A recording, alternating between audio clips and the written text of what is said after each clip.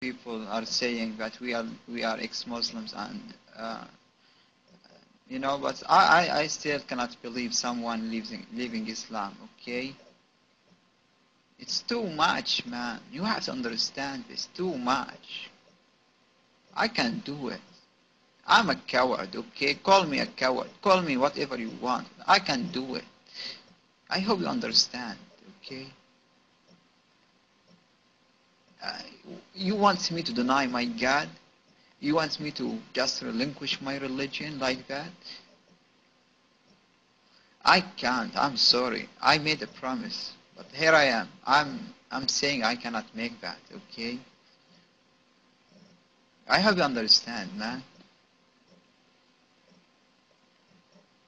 Okay, um, um, I know, you know, we, we, when we learn something, um,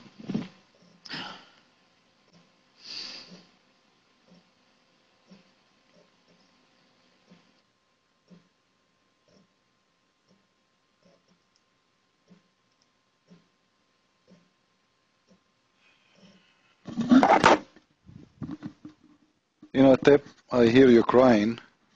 I heard you crying. I understand. You see Axel?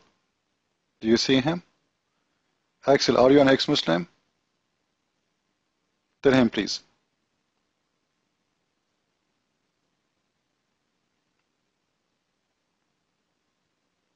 Are you from Morocco? Speak to him in Moroccan, please. And tell him how you left Islam yourself. He said it's very hard, extremely hard, and nobody can do it. Tell him why a Moroccan guy like you did leave Islam. You're mine.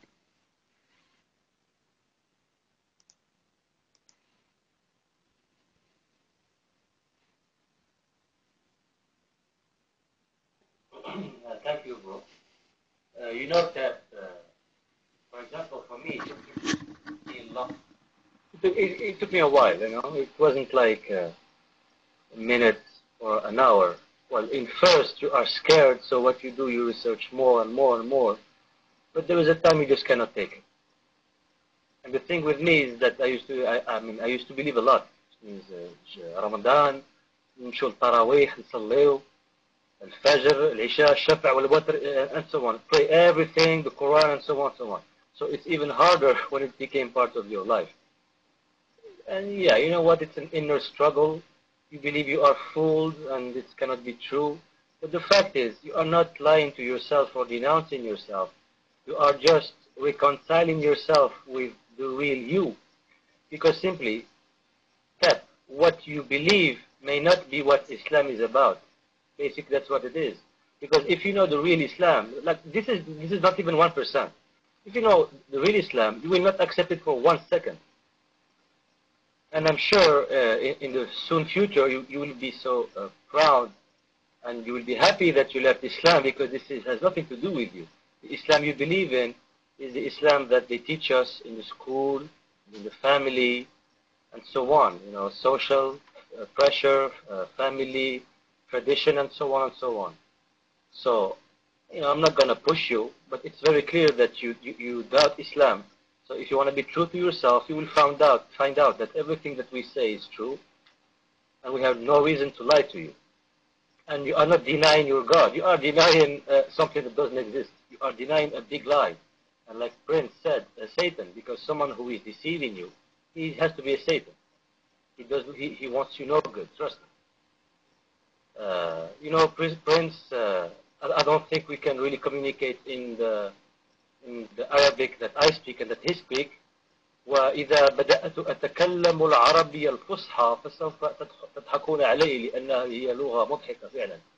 Anyways, uh, the mic is yours, bro, and Tap, uh, uh, congratulations again.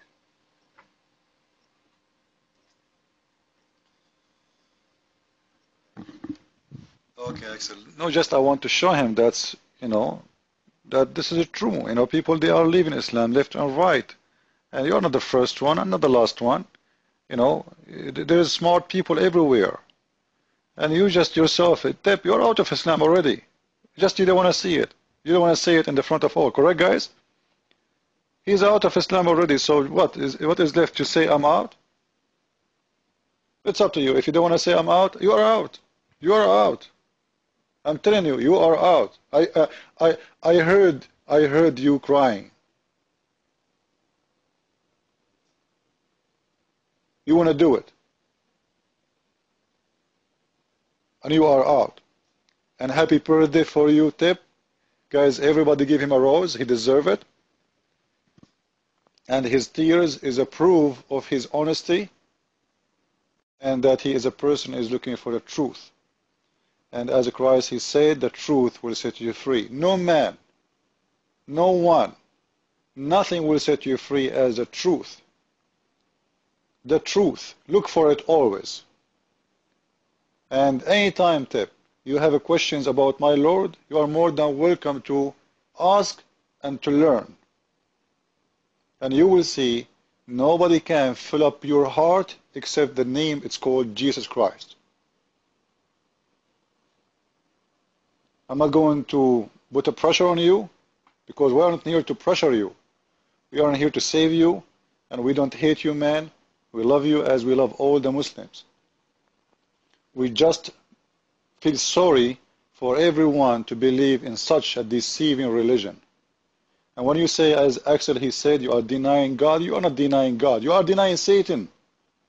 You are doing the best thing ever in your life. This is not God. God is promising you 72 horny women as you see, 300 boys. You yourself, you said this is ridiculous. You cannot accept it no more.